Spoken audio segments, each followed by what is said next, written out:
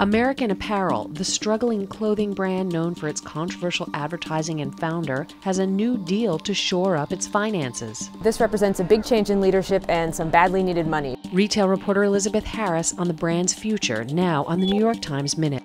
The company, known for its provocative imagery and made in America manufacturing, has been plagued by bad numbers. The company's been losing money for years. In the last three fiscal years, they lost a total of $270 million. Now, a deal with New York investment firm Standard General provides a $25 million cushion, but it does put the hedge fund in ultimate control.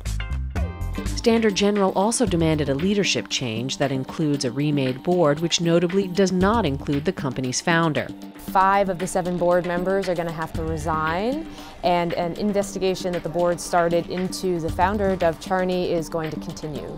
Last month, Mr. Charney was ousted as chief executive after allegations of personal and professional misconduct. It's not yet clear if Mr. Charney will have continue to have any role as an executive at the company. The new board will get to decide whether he stays or goes. Going forward, the company remains committed to keeping its manufacturing in the United States, a rarity in the garment industry. But will the deal allow American Apparel to reclaim its cool factor, or will it just provide some short term stability? They have some serious long term challenges, so um, you know, this could be a start. But We'll see. It's really too early to tell at this point.